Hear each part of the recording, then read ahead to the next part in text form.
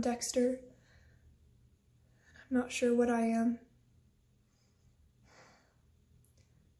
I just know there's something dark in me, and I hide it. I certainly don't talk about it, but it's there. Always. My dark passenger.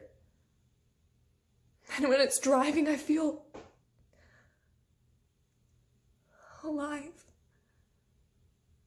Half sick with the thrill of complete wrongness.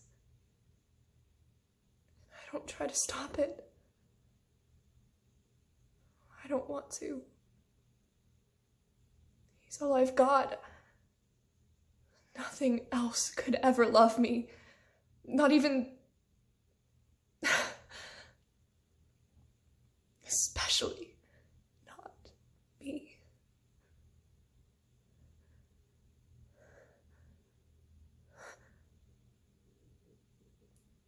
Or is that just a lie? The dark passenger tells me. Because lately, there are these moments where I feel connected to something, someone. It's like the mask slipping, and things, people who've never mattered before,